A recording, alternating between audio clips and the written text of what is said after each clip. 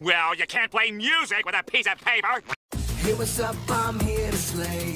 Don't know why the rest even bother to stay. Hooray! Hooray! That was great, Squidward. All those wrong notes you play made it sound more original. What? I didn't play any wrong notes.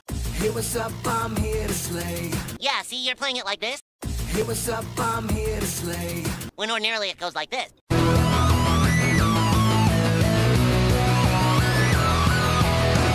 Mom and dad, I'm doing fine. You guys are on my mind. I'm partial to doing it in the key of A minor myself.